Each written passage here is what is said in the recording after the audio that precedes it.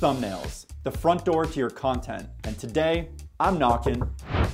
This is my eight part video series, and this is video number seven, and it starts inside Adobe Express.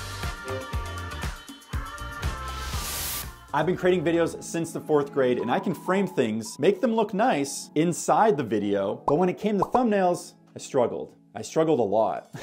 thumbnails are a whole different ballgame. They're like the front door to your content. And if your thumbnail isn't inviting, no one's stepping in. You don't need to be a designer to make thumbnails. You just need Adobe Express and a sprinkle of creativity. And I'm gonna show you how in this video. Let's get started. Go to adobe.com forward slash express. No app to be installed, this is right inside the browser. Thumbnails come in many sizes, vertical to horizontal across the many social media platforms. The cool thing is that you don't have to remember any sizing because Express provides templates. In this video, I'm gonna teach you the keys to creating an eye-popping custom YouTube thumbnail. For this very video, the one we're watching, we're gonna find social media. Click on YouTube thumbnail. They have dozens, if not hundreds, if not thousands of templates to choose from. We're gonna create our own. Pro tip, these are also really cool to use inside your videos as title cards. We're just gonna start blank. So what makes a thumbnail pop? Ask yourself this real quick. What grabs your interest and encourages you to click on a video? Let us know in the comments below, I would love to hear them. And while you're there, drop us a thumbs up. For me, it's the following. Bold and clear text. Use large, readable fonts with high contrast. Ensure the text conveys the video's key message at a glance, even on the small screens. High quality visuals. Use crisp, vibrant images or graphics that grab attention and reflect the video's theme. Emotion and expression include faces or elements that invoke curiosity, excitement, or other strong emotions to connect with viewers. Consistent branding. Incorporate colors, fonts, logos that align with your channel's identity to build recognition. Minimal clutter. Keep the design clean and simple, focusing on one or two main elements to avoid overwhelming the viewer. I'm gonna add elements that speak to the project, checking all the boxes. So I made myself a checklist. It's like a guide to stay on brand. It has to come off professional, inviting, clean, simple, with elements that pop. On the left-hand side is all the tools and working essentials. Media, text, elements, charts, and grids. I'm gonna start off by adding a background. You can quickly pick suggestions or search photos. A quick search for paper. And I built a personal library over time inside Express.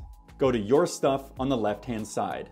These are my favorite and most used elements colors, fonts, logos. If you're bringing any file from the outside, it's a simple click and drag into the browser. It imports super quick. Now let's line up the paper background. Next is the photo of me. Let's cut that out. When you highlight any layer, say this photo, quick actions appear, like remove background. One click and it's gone in seconds. With Movie Magic, I'm gonna bring all the elements into play. Notice on the right hand side, all of the layers. Click, drag, and drop to bring forward or send backwards. This is the Adobe Live series, so I'm gonna add that logo right here. Gonna sort everything just a little bit. Today we're educating inside Adobe Express, so that logo has to be nice and large. All of this communicates to what's being addressed in the video. The many different apps featured within the series, an arrow to symbolize from this to that, easy step by step, thumbnails for examples, social media platforms that are incorporated, and proper logoage and titles. There you have it. Every channel and every video is going to be unique on its own.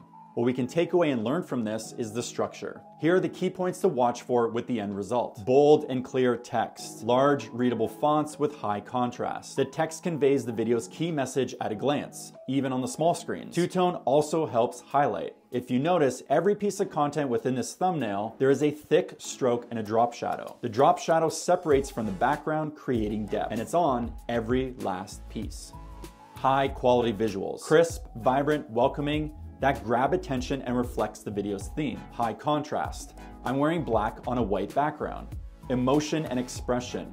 My face is included with elements that evoke curiosity. Excitement connects with the viewers. Consistent branding. Here are my previous thumbnails. Colors, fonts, logos all align and builds recognition. If you need to adjust anything on the fly during your travels, like fixing that last minute spelling mistake, you can do so from your phone. Tap download, and there you have it. Express has a ton, and I mean a ton of templates, so whatever your topic, theme, or who you are, there's a style for everyone. Use it as is or tweak and customize like I've shown here. This is just the beginning of what Adobe Express can do. Subscribe for more tips and exclusive updates. And if you're down, drop us a like on this video. This is me, this is what we're creating. Thank you for watching, and as always, later.